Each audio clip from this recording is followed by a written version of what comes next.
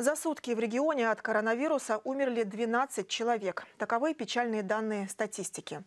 Зарегистрированы 353 новых случая заболевания COVID-19. Почти столько же выздоровели. Однако почти 3,5 тысячи белгородцев находятся в стационарах области. Из них 120 в тяжелом состоянии на аппаратах искусственной вентиляции легких. Тем временем первую прививку сделали почти 900 тысяч человек и столько же в очереди. Полностью вакцинировано пока только около 8 800 тысяч жителей региона. Напоминаем, записаться на иммунизацию можно на портале госуслуги или в своей поликлинике.